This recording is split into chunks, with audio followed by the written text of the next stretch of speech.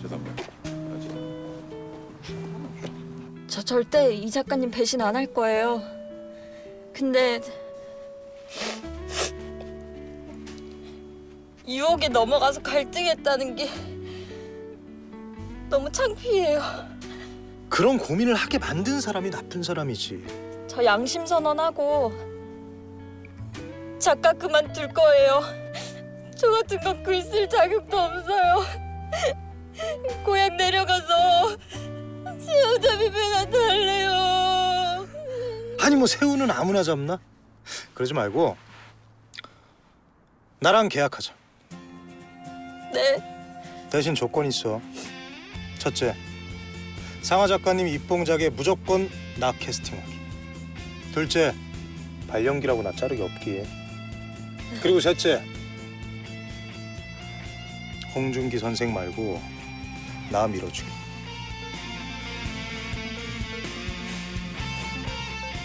그럼 우리 제대로 복수 한번 해보자고. 어? 왜 이런 말 있잖아. 눈에는 도끼는 이에는 송곳.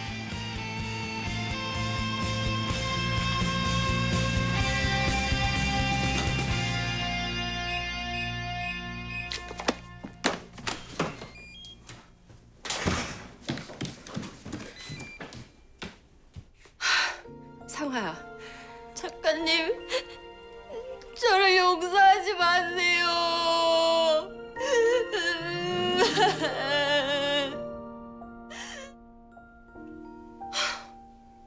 너 다음부턴 이런 위험한 짓 하지 마. 그러다가 무슨 일 당하면 어떡하려고 혼자서. 혼자서 한 거 아니에요. 혜성님이 도와주셨어요. 류혜성 씨가?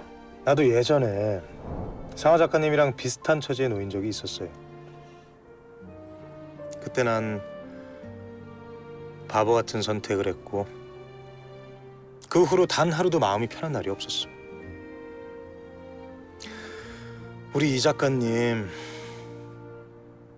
또 배신당하면 많이 힘들 텐데. 그건 상하 작가님도 싫죠.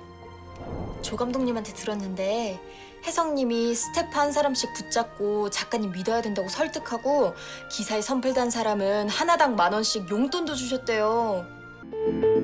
다채로운 즐거움 JTBC